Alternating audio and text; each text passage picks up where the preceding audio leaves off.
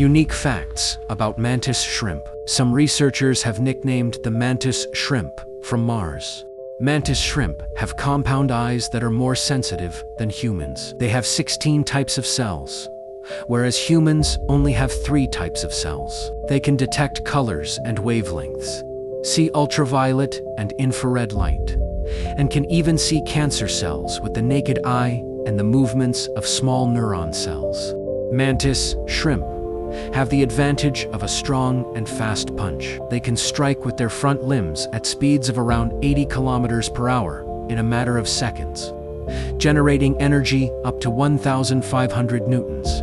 Researchers found crystallized calcium phosphate compound particles on the hands of mantis shrimp, while its arms contain elastic polysaccharides. The combination of these two materials makes the mantis shrimps strike very powerful.